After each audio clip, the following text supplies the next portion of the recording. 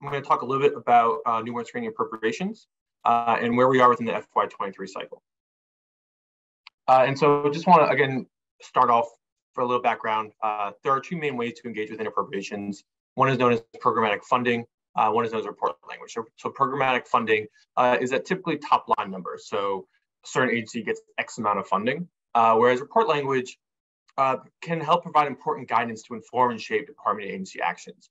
While it's not typically binding, it does really government agencies do typically follow this. Uh, and the reason I want to highlight this difference is because a lot of the language within newborn screening appropriations is report language. Uh, next slide, please. And so a little bit of background on two of the main uh, newborn screening uh, federal programs. Uh, and so the newborn within the CDC, there's something known as the newborn screening quality assurance program. Uh, and this really works on the state lab side of newborn screening. And here they work with state labs to help perform quality testing, to ensure the accuracy of newborn screening tests. Uh, for instance, if MPS2 has recently been added to the federal recommended panel, uh, state labs can now work with the CDC uh, quality assurance program to help to best understand how best to conduct that screening test to ensure the fact that when they add it to their state, they're conducting that screening uh, in the best possible fashion to ensure the fact that it is working uh, to the best of its ability.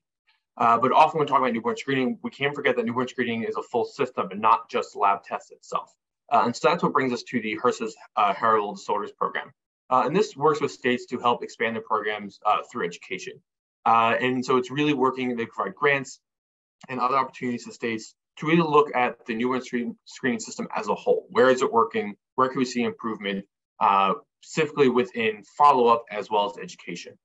it's also important to note that HRSA supports the work of the Advisory Committee of Heritable Disorders and Newborns and Children, which oversees the recommended uniform screening panel the federal recommended panel that currently has 36 conditions that is um, the guiding light for a lot of states on, on what conditions to add to their state panels. Uh, next slide, please.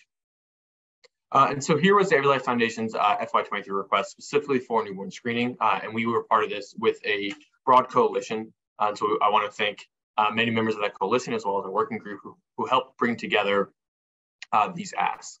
Uh, and so you can see uh, there were four different ones. Uh, the first was around HRSA, the HRSA program to provide $29 million uh, in funding uh, for the heritable disorders program.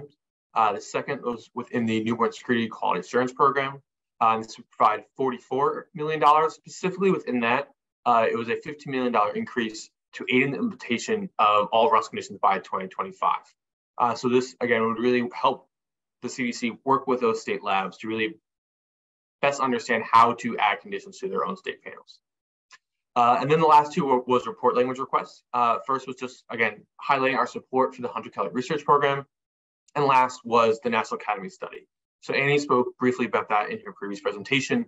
Uh, and what she highlighted is the fact that it is, the legislation has uh, been stalled out. Um, and so we wanted to find a way to try to ensure the fact that we can get this National Academy Study uh, done. And so we were, we were requesting to have it included within report language.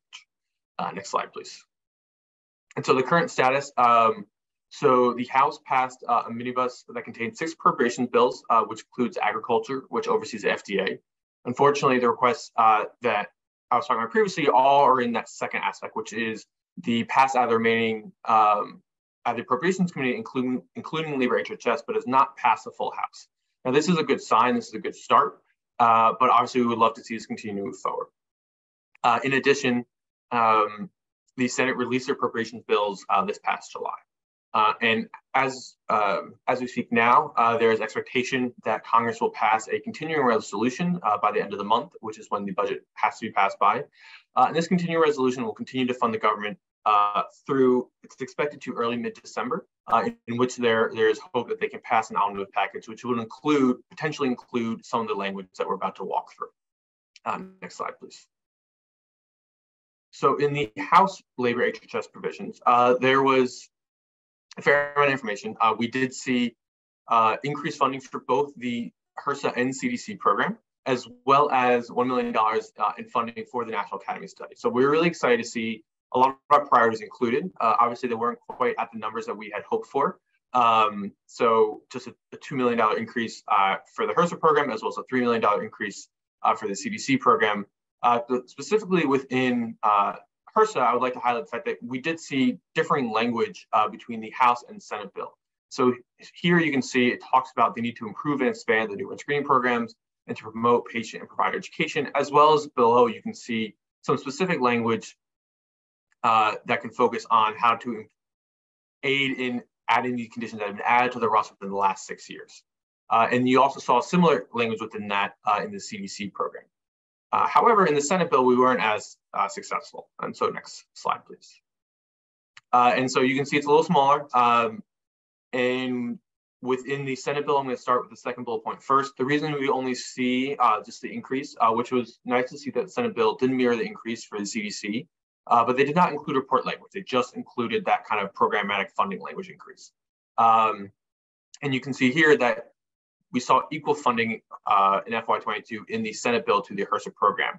And you can see here again how there, there are differences in the language uh, between the Senate version and the House version, where here it just states improve state's ability to provide newborn screening, newborn and child screening for hereditary disorders. And so it's definitely a much more narrow uh, report language.